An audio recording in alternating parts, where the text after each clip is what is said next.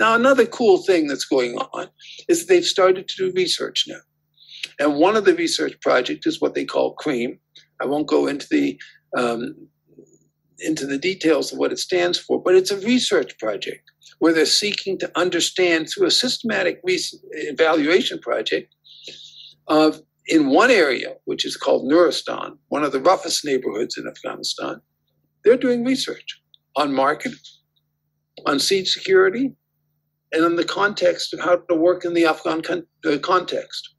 Okay, seed security is, is the focus because they're trying to build, bring back food security. And the way to do that is through managing the seeds.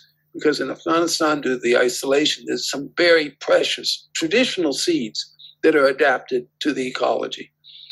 But this is not just going around casually talking. Look, they're doing surveys.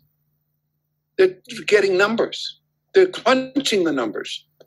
Okay, this is very serious evidence gathering under the model that I just showed you of using seed scale with group teamwork. Um, so, of the partnership between Future Generations University and Future Generations Afghanistan.